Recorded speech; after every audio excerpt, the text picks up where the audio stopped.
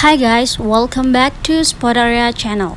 So today in this video, I'll show you how to enable share across device in screen time on iPhone. But as always, before you continue this video, I hope you like, comment and subscribe to support this channel and don't forget to hit the notifications bell. So without any further ado, let's get started.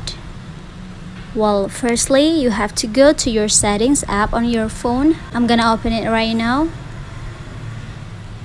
In the settings page, you will see screen time at the last option at the second section. Just go ahead. After you just have to scroll it down a bit more and you will see share across devices. You can read below that you can enable this on any devices sign in into iCloud to report your combined screen time. If you want to enable it, just tap on the toggle next to share across devices.